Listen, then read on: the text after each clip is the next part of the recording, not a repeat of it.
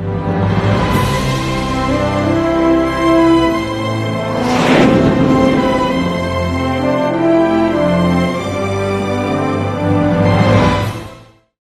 这里面，我们举一个非常老的例子。其实说句心里话像这样的一种这个人和组织之间的这种联系、这种关系的方式，其实在人类有经济活动以来，就不断的在去摸索。只不过可能是由于技术、市场等等各种各样的条件，它可能出现了一段时间以后没有持续下来，或者说它所占据的整个社会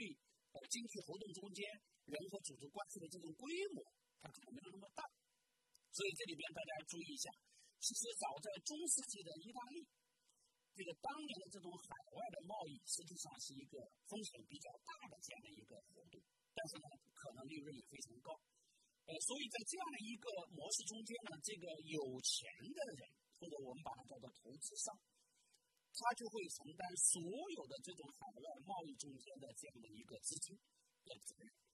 但是有可能他自己不擅长于这样的这种航行。甚至于可能他觉得风险太大，所以他就会找一个旅行商来去旅行或者叫执行这样的海外贸易的活动。但是这个旅行商呢，不提供任何资金，但他承担了从事这种危险的海上航行的这种风险，并且忍受呃这种航行中间的所有的磨难。最后的结果是什么呢？他这个旅行商由于他去航行，由于他去执行这个海外贸易的活动。所以，他能够享受这个整个海外贸易活动中间的利润的四分之一。对于那些完全提供资金的这样的一个投资商呢，他能够拿到这个呃利润的四分之三。那这就是我们从一个大的活动中间看到的这种情形，或者一个网约车所看到的这种情形，在本质上实际上是非常相似的。所以，这就是一种合作关系的这个模式。那大家都知道，现在这个科学技术发展的这种这个速度越来越快的条件下，实际上也使得企业一个创业活动不断的增加。但与此同时，这个创业的风险也在不断的增加，因为这种市场的变化，技术这个更新的速度快，所以这种风险就会增加。所以现在呢，就是又这个产生一种这个人和组织的新型的这种关系。虽然我们都知道，在创业时候大家都会去这个以一种合伙的方式，但是在这个里边，我们更多的强调是一个人他从一个可能过去雇佣关系的那样一种身份，转换成他成为一种合伙人的这样一种身份。所以我把它叫做人力资本和组织或者叫与企业的关系螺旋式上升重组。从我们刚才讲的工作关系和合作关系中间，又回到一个企业的内部，来重新建构一种。人力资本和组织的合伙关系，这个合伙关系和合作关系最大的区别有两条。第一条，这个合作关系一般来说会基于一个特定的工作任务，基于一个特定的项目，对吧？完成了就结束。但是合伙关系呢，它终究会把这种合作关系固化成一个组织形态，甚至一个法人的机构。所以它会具有某种稳定性、长期性。第二个呢，合作和合伙的关系，合作一般情况下基于一个项目、一个工作任务的直接的收益。假如说网约车最后打车所花的费用，那么合伙的关系呢，一般来说会基于这个收益减去它的这种活动成本之后所产生的利润的这种分成的关系。所以，如果说呃我们要强调这个合伙和合作的这种区别的话，但是从本质上讲，它都是这种共同承担风险、共同这个参与这个收益分配的这样一个过程。所以在这个时候呢，它就会完成就是人力资源或者叫呃员工完成这种身份的转变，成为组织的主体和股东，享有剩余索取权，呃或者我们把它叫做股东股东的分红权，或者叫利润的这种分这个收益权。在表现形式上呢，我们实际上因为一个人在一个组织里面，他既要干活儿，同时他又含有或者占有这个组织的一定的这种股份的这个比例，所以它表现出来的是一种股份合作制的这种类型比较多。所以我想，在现在的这个企业的变革之中，尤其是带有创新性的这个变革之中，这种合伙关系，特别是这个人力资本仅仅依靠他自己自身所具有的能力，而占有企业一定的股份，可能未来会是一个常态。我们大家都知道，在人力资源管理中间，可能有一个这个激励的这个理论，叫做保健因素和激励因素，保健因素是指这个东西没有，我可能会积极性会下降；有了，我积极性可能也不会上升。那么激励因素指的是我有了这个东西，我积极性会上升，对吧？形象的去比喻，我觉得像合伙关系或者说这个人力资本占有一个组织特定的股份的这样一种做法，正在从一种激励因素转向成为一种保健因素，也就是未来的一些呃，我觉得创新型的这种创业活动，股份的安排或者叫股份激励或者合伙关系的建立。可能是一个基前提条件。那么，这个是我想，呃，这个在人力资本和组织的关系中间的这个又一个变化。那现在呢，我们把刚才提到的各种这种形式，我们简单的做一个总结。实际上，基于工业经济的这种劳动关系，它没有办法去涵盖数字经济这种条件下一个人和其他的社会经济单位，这个社会经济单位甚至也包括其他的个体。这个甲和乙两个一起要合作做一件事情，那么合作做一件事情呢，可以在平台上做，对吧？这个都是比较呃简单的一种情形。那么这时候，它会形成了一系列的我们把它叫做人力资本关系的一个组合，或者叫做一个区间。然后呢，我们有两个非常典型的表达形式，就是一个人和同一个企业，它可能同时同时存在着不同的关系。所以我们举个例子，对吧？华为呢，它的员工中间有很大一部分比例，其实是占有这个公司的虚拟股份的，主要是这个收益权。那这个时候呢，实际上它就是一种合伙关系。但大家都知道，他又是华为公司的员工，所以他是一种雇佣关系。所以这个人呢，在一个组织里边，他和这个企业就同时拥有两种关系。就是我们把它都叫做人力资本关系，但人力资本关系底下又可以分成一种是雇佣关系，另外一种是合伙关系。那么现在更重要的事情是什么呢？就是我们每一个人，或者我们把我们自己叫做劳动者，对吧？与不同的企业同时存在着不同的关系。所以我举了一个例子，当然我们讲的企业是一个呃更泛的一个概念了，指的是所有的这个社会经济单位吧。那假如说一个老师，一个教授，首先他受雇于这个大学，所以它是一种雇佣关系。那同时呢，他可能又会为社会上不同的单位。不同的企业，像今天来去做一些授课的服务，那这个时候，他又他和这个单位又产生了这种工作上的关系。当然了，如果这种授课的关系最后产生的这种学员交费的这样的一个费用，我们是以分成的方式去获取的话，那最后这种关系又转变成一种合作的关系。当然，我们现在国家也鼓励科研人员创新创业。那么实际上，他创新创业的过程中间，他同时可能还会和其他的个体、其他的教授形成一种合伙的关系。所以我们就会发现，实际上现在的这样的一个人力资源管理过程中间，你想对于一个大学的人力资源管理者来说，他也是很难的。对吧？这个教授他自己和不同的社会经济单位之间拥有不同的关系，如何让他在雇佣关系这种条件下，把他应该所履行的工作职责能够满足到这个学校的要求？其实对现在的这个人力资源管理的要求也是跟过去不一样。过去因为我们全身心的都在一个组织内部去工作，所以现在呢，它的确出现了这个人和组织，或者我们把它称之为人力资本关系。这种多元化的这样一个变革的形态，那么对于我们整个人力资源管理来说，你就不只是过去管一种类型的员工了。现在这种类员工有很多种类型，特别重要的是像这种工作关系的这样一种员工的出现。当然，这个员工也是打个上引号了，他就给你工作两小时，你怎么管理他？你怎么选？这个我们叫招聘选拔，你怎么选择这个人？这个两个小时之内的工作，你要不要给他进行管理？你如何对他的绩效进行考核？你如何给他进行复审？那这些东西过去可能都没有在我们的人力管理、人力资源管理体系里面出现过的。所以最后我们有一个小的公式，就是人力资本这个人拥有多种的关系。所以这个人力资本呢，我也打的是个呃呃复数的形式，就是一个组织里边，大家想一想，你有一百个人，那他就是一百个人。然后这种关系呢，我们目前呈现出来的，那至少是呃六种、五种，对吧？那一个人都拥有五种的这个关系，那这个组合起来，对一个组织来说就会非常的复杂。这就对于我们这个管理关系的新变革，实际上是我们现在的人力资源管理遇到的一个比较大的挑战。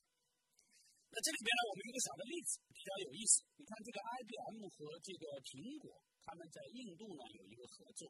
那么在一四年呢，就建立起这种合作的关系。这个合作的协议非常厚，其中有一个关键的这个构成部分是什么呢？就是苹果印度信息中信息中心的一千名员工，大部分来自 IBM。也就这个这个里边工作的人。我讲的这个工作关系，指的是来自于 IBM 的那些人和苹果的印度信息技术中心，实际上就是他们为他工作而已。但是这些人呢，都是 IBM 公司的人，所以他是呃和 IBM 呢是雇佣关系，所以这种呢就是一个混合关系，对吧？我们刚才讲的这种模式。所以呢，在这里边呢，它又有一个呃条款，就是如双方一致同意。如果员工希望离职，任何人不得阻止。也就是说，这个印度信就苹果印度信息中心的这个 IBM 的员工，如果说他不在 IBM 干了，我就直接转为这个苹果公司的员工。也就是说，他从这个 IBM 的雇佣关系转变成他和印度苹果印度信息信息中心的这个雇佣关系。那他过去呢和这个苹果的中心的关系呢又是工作关系，对吧？这种就发生了这种关系的调整。那么这个时候，两个公司呢都会这个不会阻止这种关系存在。当然，也有一种这个印度的这个呃苹果印度信息中心的这个这个 IBM 的员工说我不干了，我要直接回到这个 IBM 去。那这个时候它也是一种调整。所以这就是我们现在看到的，实际上在一个组织和另外一个组织合作中间。它不只是业务上的合作，它还有很多在人力资源管理层面上的这种合作，对吧？这就是呃我们讲的劳动关系到人力资源关系的变化。呃，第四个呢，是我们现在可能既熟悉，又可能在我们日常的管理过程中间，现在呢还使用不是特别广泛的这样一些领域。那我呢也把现在的这个呃不同的这种呃基础变革的这个情况，也给大家简单的展示一下。呃，目前的人力资源管理的技术，应该说正在经历颠覆性的变革。我不敢说，或者说我不知道会需要多长时间。我们现在正在使用的各种各样的人力资源管理的技术，可能都会过时。但是，我想这个速度其实是加速的进行的。它不仅仅包括像我们的招聘、这个测评。配置技术发生变化，而且现在更重要的事情是人工智能的这种技术直接替代了这个人力资源。当然，我们也能还会有一些积极的方面，就出现了这个人工智能和这个人类智能的这个协作。当然了，还有一些这种脑洞大开的这样的一些新的技术，假如说这个马斯克正在做的这个人机脑机接口的问题。那么这些东西呢，可能都在人力资源这个领域中间会直接产生它的这个影响。所以，呃，我想这些技术呢，我们简单的我们也来去看一看，呃，现在都出现了哪些这种变化。第一个呢，就是像招聘，大家注意一下，我们这个这个调查呢是二零一九年的五月份，美国的人力资源管理协会对他的会员所做的调查，就是说人工智能在我们招聘的这个领域中间。它的使用的情况，那么他说的就是百分之二十五的这个调查对象说正在使用人工智能筛选简历和申请表。大家要知道，这个二零一九年的五月份到我们今年这一年半的这个时间内，尤其是二零二零年，变化是非常大的。我刚才讲了，新冠疫情在全球范围内的这样的一种呃肆虐吧，实际上加速了这种。新型的管理技术的应用，特别是像这种不需要人和人接触的这样的一些技术，那么大量的使用。然后有百分之十一的调研的企业啊正在使用这个人工智能和一些智能的这个分析工具，选拔一些非常难以获得的这样的一些这个这个这个候选人的侄子吧，找到这样的一些候选人。但还有呢，这个百分之六十三现在还没有这个使用这个人工智能在它的招聘和它的这个雇佣这个活动中间。那我们可能看到的这个技术是超百分之二十五，但是实际上我刚才讲的那句话，我不知道多长时间能够完全的改变我们目前的招聘的方式，但是我们看到它正在加速度的这个过来，这是呃我希望大家要关注的事情。当然，我们也知道。今年呢，其实我们在暑假的时候也做过一些调研。我们中国的一些头部企业在使用这个人工智能筛选简历的这个层面上，速度非常快。如果我没有记错的话，中国平安，它可能它的这个人工智能筛选简历的水平，每一天可能都超过一万份以上。那这也是非常高效率的这样的一种人工智能技术在招聘和简历筛选中的应用。第二个呢，就是我们现在的这个测评技术。当然，这个测评技术呢，我们跟第一个部分讲的管理要素的变革中间有一点要对应起来，就是新的测评技术实际上更专注于某一项特定的能力，而不是我们现在的这个一个这个测试。我们在这个测试中间，把这个人几乎所有的能力都能打一个分儿。其实大家想象一下，你就能知道，从效度上讲，这种测试的方式要了解它的各种不同的能力，和一个专注于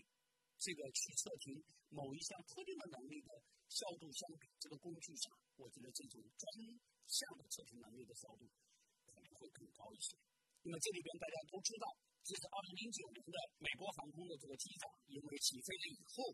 一群加拿大鹅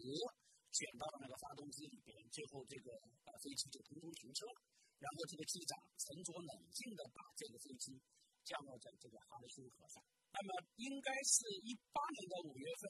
我们川航也是在这个大概一万米呃高空的时候，飞机的挡风玻璃破了，那最后它也是安全的降落在机场上。那这里边都有一个关键的因素，在遇到这种突发情况下，什么样的一个能力能够决定这在这个事件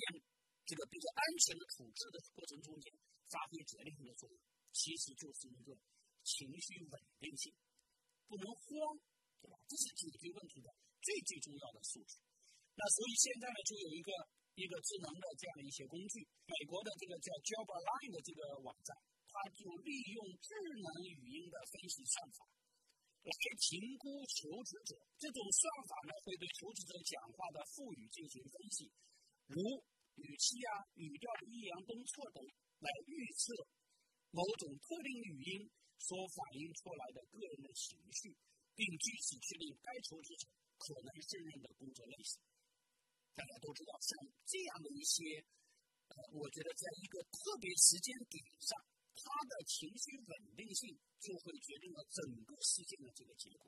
所以我想，那么他如果能够非常准确的去确定这个人的情绪稳定性非常高，那我想，像这个机长啊，呃，都包括像警察啊、消防队员啊这样一些特定的这样的一个职业，我觉得都得使用的这个空间，甚至于，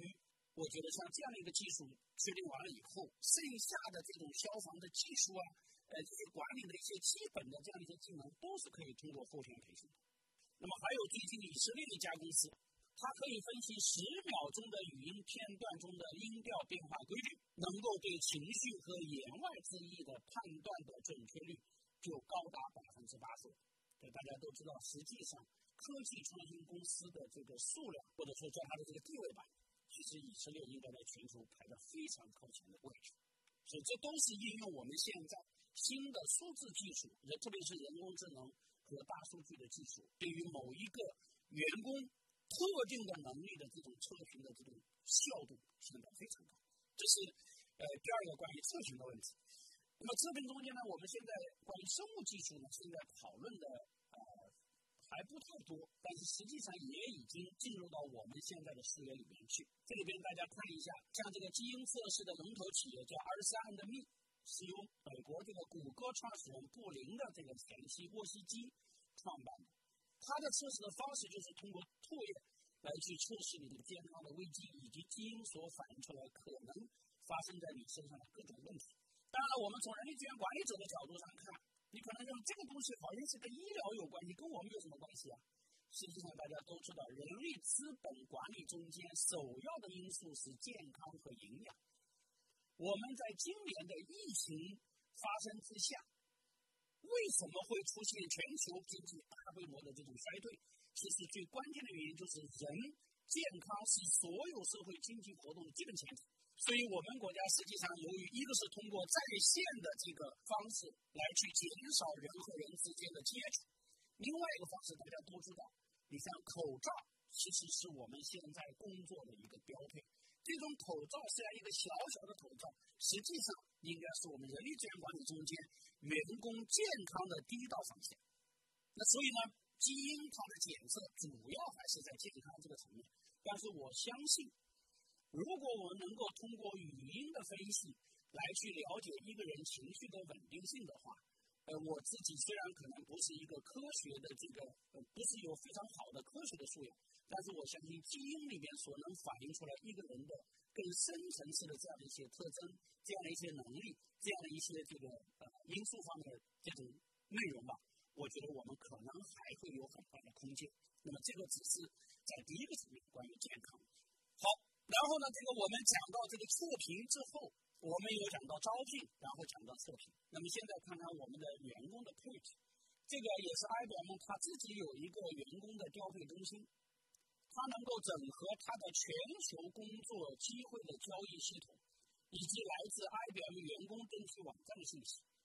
这个时候呢，你可以搜索，也可以等候，你可以接受，也可以拒绝。最重要的事情，你所做的每一件事情，在这个网站上，这个中心，这个中心其实也是用一个网站作为载体来做的，它就能够去分析你的任务偏好，或者说你想干什么，那这个就很重要。这个东西，我觉得在未来，它不只是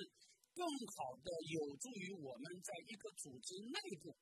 去配置最优的去配置我的员工，配置我的人力资源，而且它会将来会推动整个人力资源服务行业的这个变革。我能不能够为一家公司在他需要人的时候，我就能把他正好需要的那个人直接送到他们公司去，而不需要再去经历一个。这个发布招聘信息来进行招聘，来进行测试，来进行整整一系列的过程。那么，所有这些过程将来可能都会融合到这样一个叫大数据或者叫人工智能的系统里面。当然了，我们也知道，对于一个企业来说，你喜欢做什么事情，公司也不一定就必然会让你去做，因为你还得去能干这个事情。所以，这个 IBM 员工调配中心还能干什么呢？它还有一个叫技能定位器的这样一个工具。这种工具，它会挖掘员工在日常工作中间随机出现的这种数据，并且利用高级算法来去推动他们的专业技能的变化。所以，它这样的一个调配中心的方式，就会把一个人他想干什么和他能干什么比较好的结合起来。既满足了一个企业最优配置人力资源的这么一种需要，同时也能更好的满足了这个人自己他对自己工作的这样的一种啊这种追求，对吧？这不是最理想的一种状态吗？所以我想这些东西呢，可能都是未来可能我们在一个人力资源管理这个变革中间会使用的越来越多的这样一种技术。第四个。那就是我们现在这个大家都知道，这个培训开发，特别是呃今年我们的疫情之后，我们的很多的这种培训开发的活动，实际上都在线上。但是我想表达的一个概念是什么呢？就是目前我们绝大多数的这样的一种培训开发方式的这种转变，应该说都叫做培训开发加一个在线的技术，加一个这个数字化的技术。什么意思呢？更多的情况下，就是把我们传统的做法用数字化的方式展现出来，就把数字化的技术应用上而已。实际上呢，我们现在想要解释的一个问题是什么？就是如何用数字技术加培训开发，而不是培训开发简单的加数字技术。因为如果简单的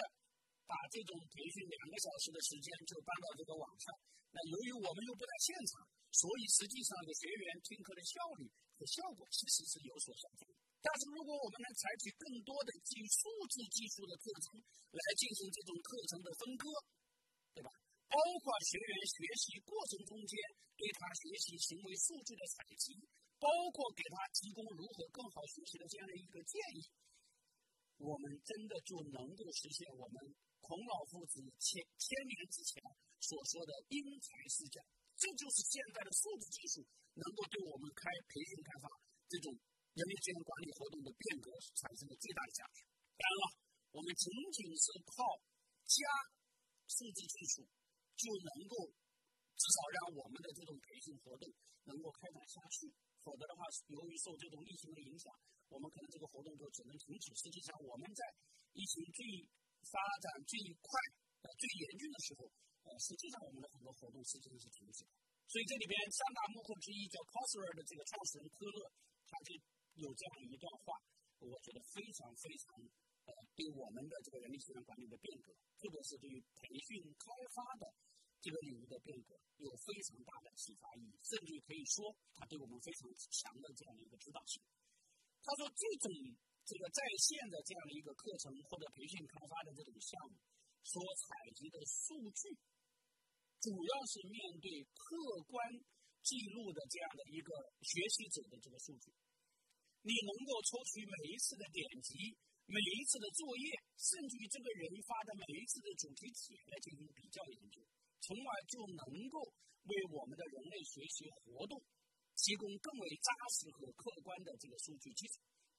说的直白一点，就是我们要靠这种技术，能够最终了解到这个人的学习习惯，最终去了解到这个人的学习能力，从而能够因材施教，能够帮助他最好的去掌握我们所希望他掌握的内容。克里斯坦森应该说，在这个颠覆性创新或者破坏性创新中间，应该是一个炸花级的人物。很不幸的是，他在今年应该疫情之前吧，是哈佛大学的教授去世。他写的那本叫做《创新者的窘境》，实际上从我个人角度上讲，非常值得我们呃人力资源管理的同行，但不仅仅是人力资源管理的同行，非常值得我们企业的这个经营者、企业家、高管和所有的管理者去学习。这里边关于培训开发的这种，或者叫这个在线的技术，或者叫大数据的技术中间，他说了，叫现代技术最为强大的功能是为教育工作者能够因材施教，满足每一位学习者的独特需求。大家都知道，我们培训开发其实最头疼的事情，就是想了解我这个培训活动到底产生什么结果，我的这种方式到底适合不适合这些学员。我想这样的一个技术。可能为我们提供了非常强有力的工具。那么后边呢，其实对我们来说也是有巨大的压力，就是人工智能，它在这个技术的使用中间，不仅能够赋能我们的很多的管理场景，甚至于有些时候它会直接取代我们管理本身。如果它人工智能作为一种机器，直接配置完了以后，它就能自动的去运行去工作的话，那实际上不仅取代了人力资源，也直接取代了。这个人力资源管理，因为它作为一个设备，当然这个里边有复杂的现象，这个人工智能智能到什么样的程度？到底它是纳入到这个设备的管理体系中间，还是纳入到我们人力资源管理体系中间去？对吧？这是我们现在需要啊关注的问题。呃，这里边我们从百度上找了一个小的信息，说这个德勤已经正式将人工智能引入到财务工作中间。一个机器人可以顶替十五个财务的工作，而且可以每周二十四小时乘以七日的这个工作。然后底下还有一个呃关于机器的工作流程自动化的这样的一些介绍，它怎么样来去，或者说它和人力资源和人工来相比，它有哪些这样的优势？所以这里边呃列了很多项。假如说我们讲的二十四乘以七全天候的工作，包括成本的节约，包括质量的保证。那特别是大家都知道，这个财务吧，一个人再专业，我觉得时间工作长了以后，关于数据这个八写成五啊，这个写成六啊，都是有可能的。但是机器可能性不太大。那效率的提高就更不用说了，速度的处处理啊，包括信息安全了，对吧？这个信息安全其实包括一些数据通过人的这个中间的交流啊、呃交往啊，可能会泄露啊，或者是传递出去，都是有这样的可能性。所以这是呃我们讲的这个呃关于人工智能可能会替代，这是我们需要啊，这个在我们人力资源管理中间，呃虽然它是一种技术的这种变化，但是对我们整个人力资源管理体系本身会带来巨大的这样的影响。啊，当然还有就是我们现在人工智能和这个这个这个人力智能或者叫人力资源相互协作的这个方式，呃，这也是这个 IBM 的这个 Watson 技术，我相信可能做人力资源管理应该都知道，特别是现在，呃，我这里讲的实际上是它的一个医疗的这个人工智能，实际上。呃，现在沃森其实在人力资源这个领域中间也有一个叫呃人工智能这个助理的这样的一个呃新的机器人，那么对整个人力资源管理的帮助也会很大，是一种叫人机协作。那么这个沃森的这个叫医疗的机器人呢，它现在已经在为美国的这个叫退伍军人保健的这个呃局或者是保健机构吧，呃为美国的这个八百七十万的退伍军人提供医疗服务。那它可以大量的。处理医疗的文献、临床资料和病患医疗记录，并给当个病患提出适当的治疗方案。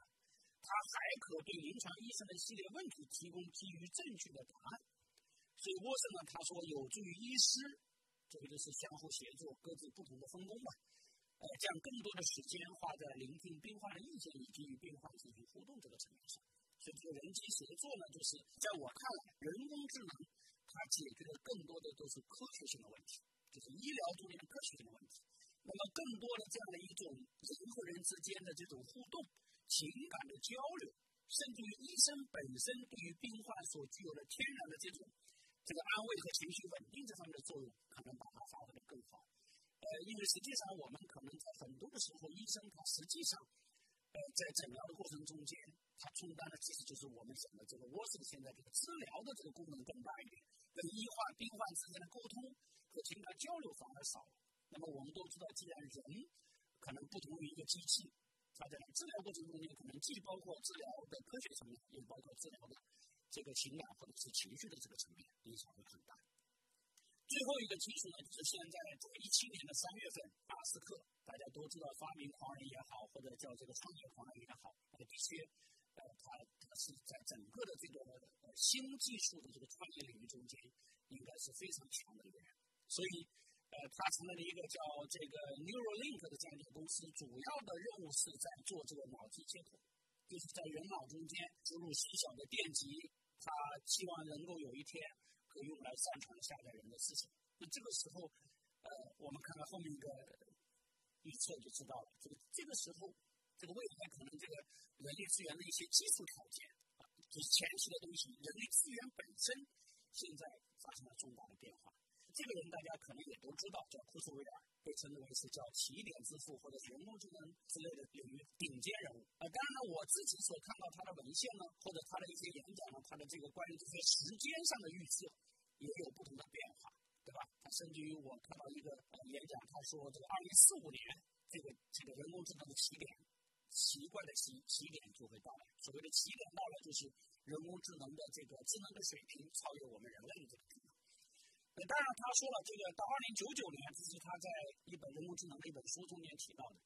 说到二零九九年，人类和计算机之间就不再有明显的区别。那么更重要的事情是什么呢？他说，这些仍然使用碳基神经元的人类，会普遍使用神经植入技术，以增加人类的认知能力。那这个就是刚才我讲的，跟马斯克做的神经链接的那个内容有点像。他还说，还没有使用植入技术的人，无法与那些已经使用植入技术的人进行有意义的对话。那这个就是，我想这是一种有一点科幻式的这样一种变革，它直接改变了我们的人力资源管理的基本前提，就是人力资源本身的问题。这是第四个层面上，呃，可能呃，从一些操作性的工具性的技术，到一些革命性的颠覆性的技术。呃，我想可能跟人类学相关的，呃，大概七个方面，我都给大家这个展示一下